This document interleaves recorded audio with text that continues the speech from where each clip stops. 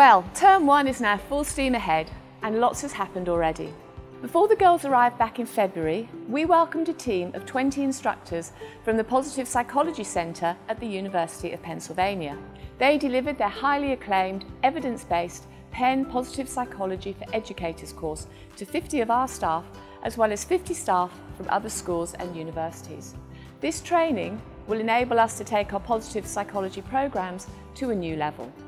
And Mrs Rennie and I have just returned from New York, where we attended the National Coalition of Girls' Schools Global Forum on Girls' Education and delivered a paper outlining the work we do in academic care time to build well-being and resilience in our girls.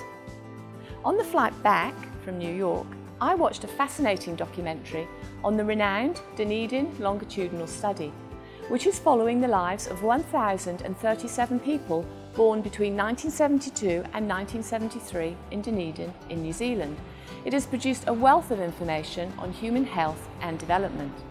One of the key questions the study addressed was, what makes people successful? Well, they found that the most powerful predictor of income and success was self-control. And the levels of self-control they measured in their subjects as four-year-olds accurately predicted their income and job status 40 years later. The study noted that in every measure of success, self-control made a huge difference.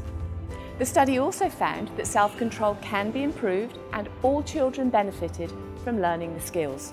The findings, of course, reinforce the work we do with girls in academic care that stresses the importance of self-control, grit and perseverance to success in life.